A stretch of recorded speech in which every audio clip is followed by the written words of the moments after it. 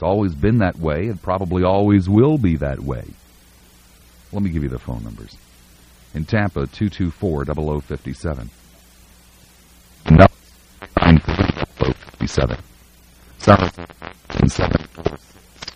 0057.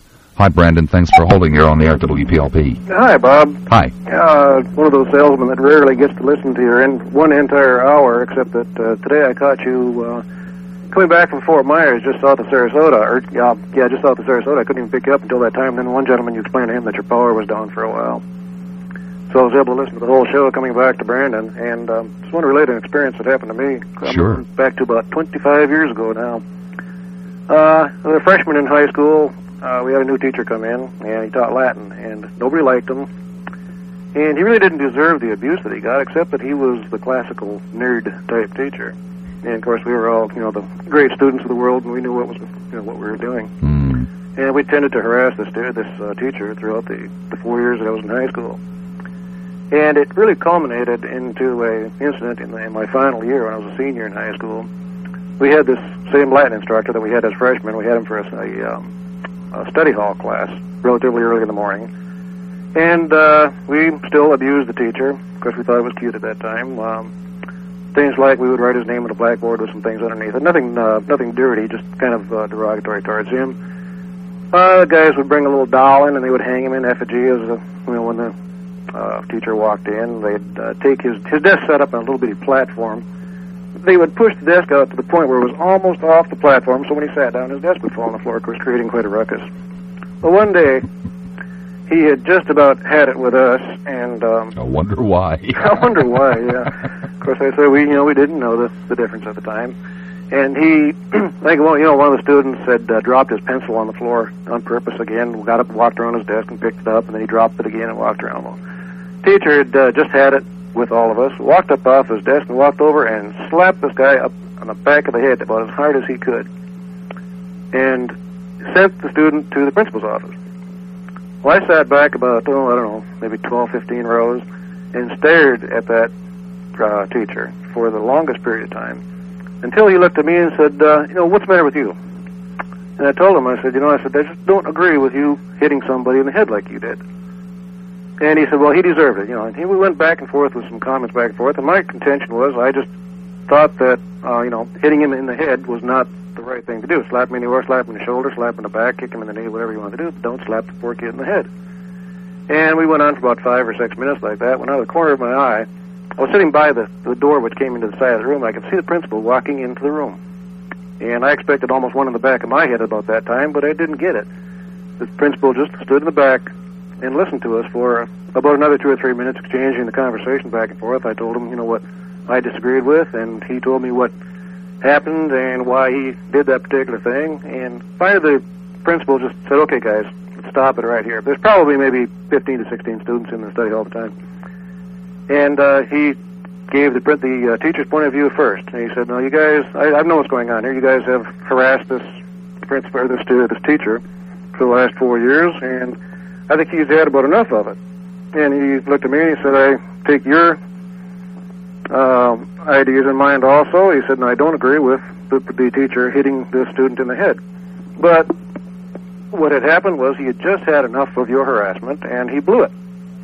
And now, if we can all just stop and look at the whole situation, we did this, you know, in front of all the students, the teacher, myself, and everybody else. Even brought the other, you know, student back who had gotten hit. Mm-hmm. And the principal laid it all on the line right there, and told us what he thought of us for the harassment. He told the teacher what he thought of, you know, for the hitting incident, and we all got together and stopped it right then and there. After four years of going through this, you know, baloney. Sounds like they had a good principal. He was very nice. Yeah. Uh, excellent. He had, like I say, handled the situation in front of everybody. He took my point of view, the teacher's point of view, and cooled the whole thing right there. Had he done it sooner, I guess you know, the whole thing culminated because nobody really did anything drastic through this four years. It was you know just a series of pranks that we would pull on the on the poor teacher and whatnot. But this culmination of you know getting slapped in the back of the head and whatnot, they I said, just he brought it to the end, and the and the principal uh, solved the whole problem right there. Mm-hmm. And that was you know that's the end of it. So anyway, appreciate your show. For gifted students, but I can't see having special classes or special rows or special rooms for gifted students. We didn't have. It was because It was a rural township. It was several towns bound together in, a, in an educational district. Well, I think you just do tremendous damage to a child, and a child knows. A special class to deal with apparent problem people, and they filled out a few odd spots with people that weren't being too terribly serious about advancing study, and on that particular course I wasn't. I was just filling out the point requirements to graduate. I had other things in mind. And anyway, uh, it was very strange. The teacher never dared let let his eyes off the class. Used an overhead projector to put everything on the blackboard uh, on a white screen, because if his eyes left the class for as much as one second, uh, you'd hear violence. And frequently, he'd be looking. He would look down at what he was drawing, pure instinct, and he'd look back up, and some, something would have happened. Maybe the black rubber, rubber hose would have whapped somebody, or I don't know what. But uh, it was pretty damn strange. As far as the kid, the kids that are not motivated, the kids that don't want to learn, the kids that don't care, why not just give them a certificate that says good for one high school education and put them out the front door? Why not figure out a way to motivate them? I don't know how. Life often motivates people to do things that they themselves weren't motivated. Let well, you know, I agree with you. I don't know how to do it either, but there's got to be some way. Let them get five years of maturity. Let them get five years of the of education at Hard Knocks University, best damn school in the world. Tuition's a little tough, but let them go out and get a couple of years, and then let them come back of weirdness, and let them come back if they're motivated. And if they're not motivated, ever, it's that much less tax burden. It's callous. Oh, you're quite wrong. It's that much more tax burden. Why? If Why? They're motivated, they're, if you have people, up room in the educational system. If you have people who have no skills, who can't earn a living or enough of a living, we've got to take care of these people. We can't let them rot in the gutter. Sir, it's a hell of a lot che- cheaper to motivate them and teach them when they're young than it is to support them for the rest of their lives. I appreciate what you're telling me. I think you're missing one point. You're going to have to take care of them anyway because they're going to sit in the high school, take up room, not take benefit from it. They're going to go out and carry on the same way anyhow. You'll have the same problems as not educating them. But what you're advocating is a permanent underclass. We can't have that. There's no way to run a country. Is it? What do you suggest as an alternative? I'm simply recognizing, that I was talking about recognizing that there are people that do not appreciate or seek an education. Well, you know, I don't know. Maybe I'm being naive. Maybe I'm being simplistic. Maybe but if I'm you can figure simple. out, if you can figure out a way how to put men on the moon, if you can dream about building space shields in the sky, and there are people that say it can be done, then it seems to me there's got to be some damned way to figure out how to motivate children to learn and to teach them. Sir, in the 1600s, the great field of the great frontier of man's knowledge was astronomy. In the 1700s, we were learning about chemistry and electricity. In the 1800s, we were learning about machinery and and how to build telegraphs and guns like we never did before. In the 1900s, we started working on things like political reform and society and psychology the frontier of knowledge is the human mind.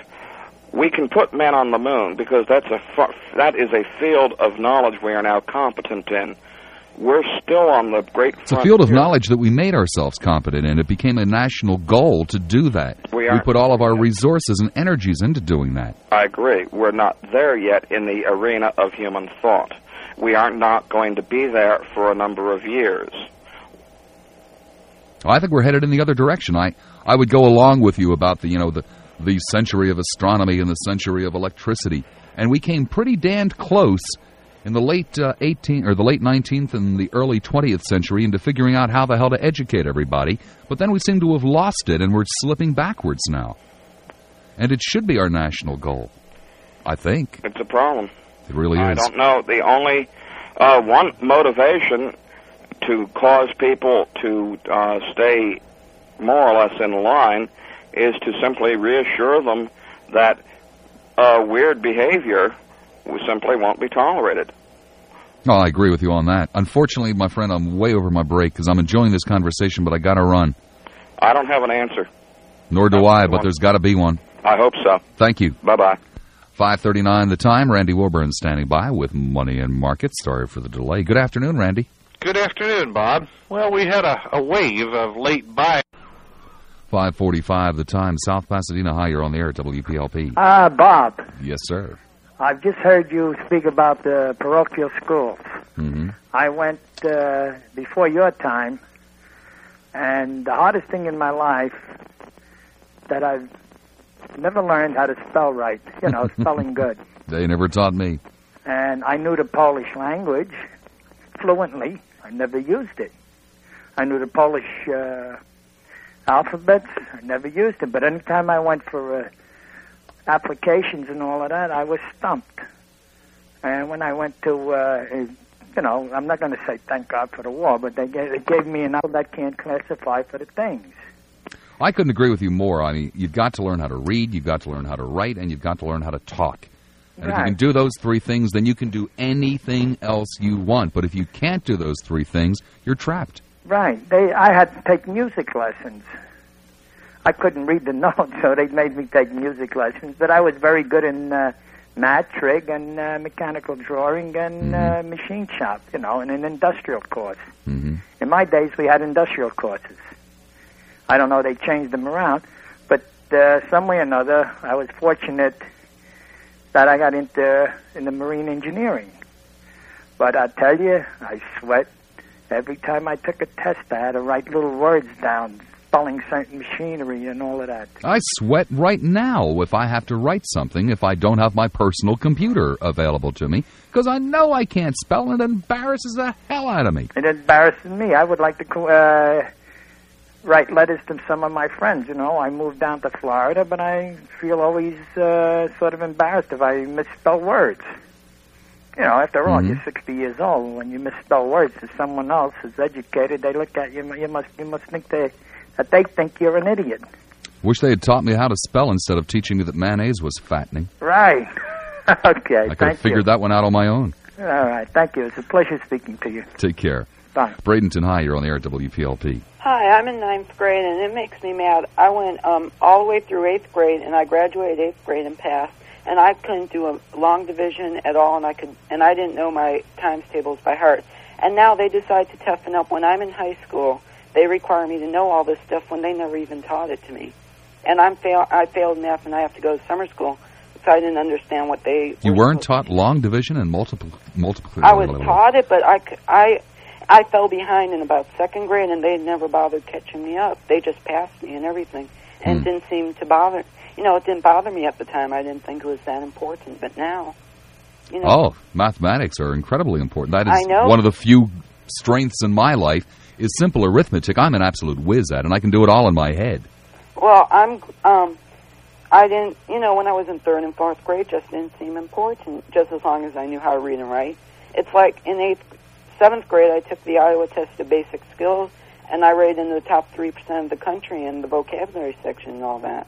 hmm And in math, I mean, I did terrible. And I just don't understand why they didn't help me. They knew I was, they knew I didn't know how to do multiplication, yet they never tried to catch me up. You know, exactly. You bring up a valid point with all of the testing that we do in our schools today, or at least I'm led to believe that we do a lot of testing in our schools today. You know, they should know where your weaknesses are and where your strengths are. And, you know, hey, let's face it, if you're terribly, I'm terribly good in arithmetic. I'm very bad in spelling. What they should have done with me is take me the hell out of their arithmetic class that I didn't need and put me in a spelling class that I desperately needed. Uh huh. And it seems to me that you have the same problem. Yeah, well, this was in Chicago. When I came here, I failed math all the time. They started grading everything. In Chicago, they just passed me. Here, they failed me, but it didn't matter. I would just go on to the next grade anyway. But it was only one class I was failing. Brilliant. And now my mom has to pay for a tutor for me because of what they didn't. Hey, you're lucky to have a mom that A, first of all, will part with the bucks, and B, has them.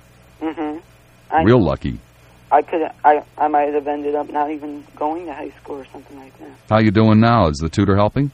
Well, I I start this summer while I'm taking summer school. I see. I gave up on math this year because I really couldn't.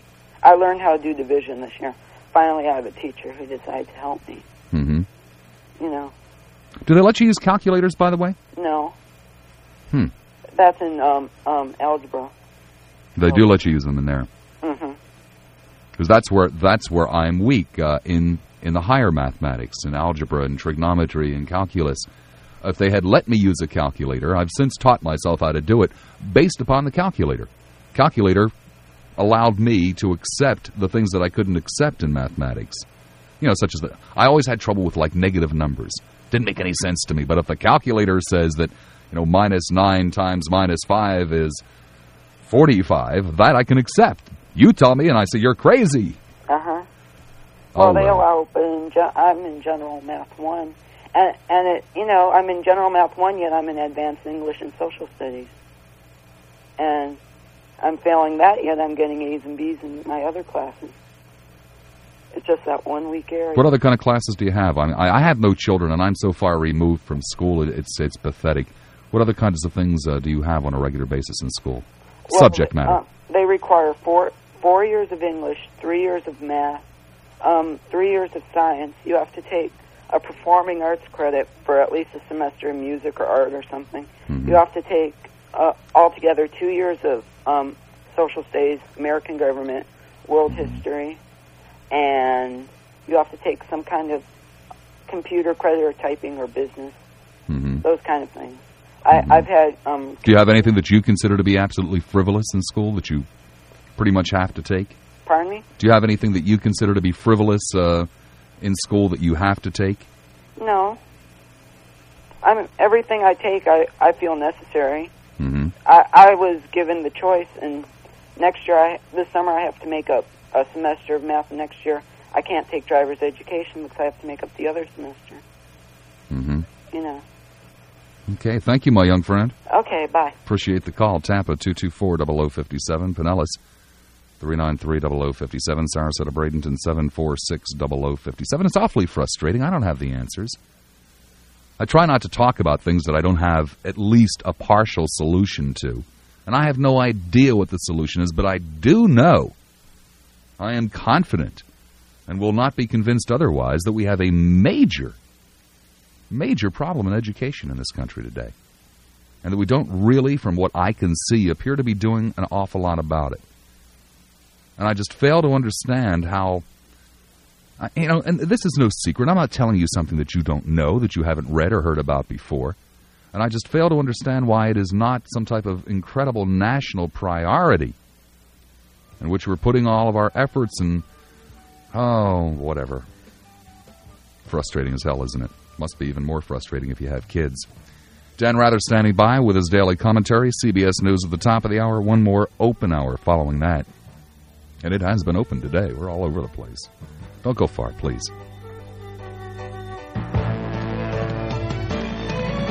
You're listening to The Bob Lassiter Show on WPLP.